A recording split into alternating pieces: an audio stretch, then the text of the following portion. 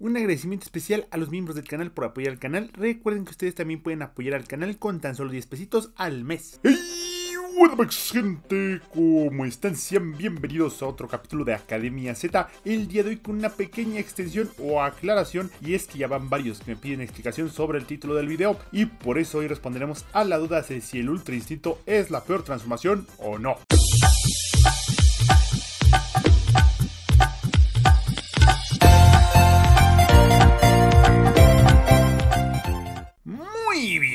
Recordarán en el pasado ya hemos hablado de todas las transformaciones y literalmente cada vez que sale una nueva actualizamos los datos. Por lo que para no extenderme demasiado repitiendo lo mismo, el Ultra Instinto sigue sin aumentar nada. Es decir que no tiene ninguna estadística destacada, absolutamente ninguna, y aún así sigue siendo igual de buena que la mejor transformación del juego. Y ya sé, ya sé que aquí es donde varios se preguntan cómo es esto posible si no aumenta absolutamente nada. La respuesta es muy sencilla, por su cantidad de ventajas y la calidad de las mismas. La transformación te da un que te hace intocable durante los primeros segundos mientras te transformas. Esquivas automáticamente cualquier ataque básico del rival consumiendo resistencia. También puedes activar contraataques a los ataques básicos del rival si activas el parry justo después de un ataque de tu oponente. Tienes tres ráfagas de ki, la normal, la base del ultra instinto y la carga del ultra instinto. Te otorga una carga de ki, de hecho la mejor carga de ki disponible, el espíritu furioso de Goku ultra instinto y a diferencia de otras transformaciones, el ultra instinto no consume ki o resistencia de forma pasiva.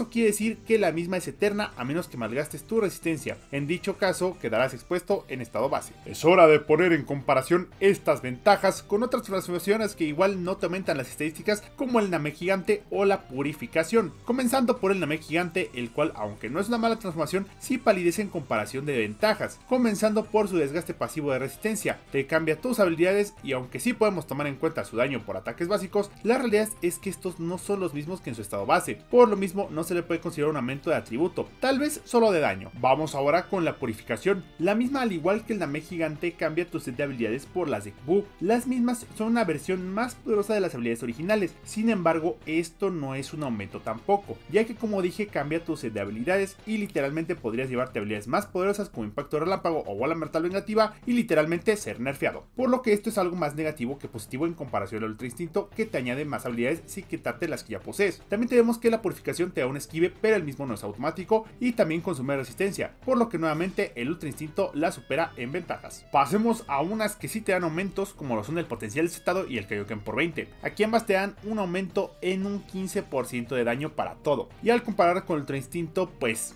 más allá de eso, no otorga nada el potencial estado. Por parte del Kaioken por 20, en teoría te da una cantidad ilimitada de resistencia para usar en desaparición Z y con habilidades que ocupen super armadura. Por ejemplo, el Kikojo de Tenshinhan, pero a su vez tu resistencia es drenada de forma pasiva a un ritmo alarmante, por lo que su mayor ventaja también es su mayor desventaja en comparación con el Ultra Instinto, la cual sigue manteniendo la mejor posición. En comparación con el modo Beast, antes ambas tenían una desventaja similar, pero ahora ya no, y es la de consumir las 5 barras de ki tras transformarse, cosa que el modo Beast sigue haciendo pero el Ultra Instinto no, por lo que es una ventaja para este último. Acá también tenemos el daño mayor del modo Beast sumado a un combo exclusivo, lo cual la pone bastante bien parada frente al Ultra Instinto, ya que no consume resistencia y tampoco ki de manera pasiva, y si te rompen la resistencia tu transformación no se anula a diferencia del Ultra Instinto, pero si recibes más daño con el modo Beast activo y tampoco tienes la ventaja que si poseen las transformaciones de los Saiyajin, sin mencionar las 5 barras de ki que gastas al inicio y su tiempo de transformación. Todo esto hace que tengas bastantes ventajas en comparación. Y te invito a seguirme los viernes a través de Twitch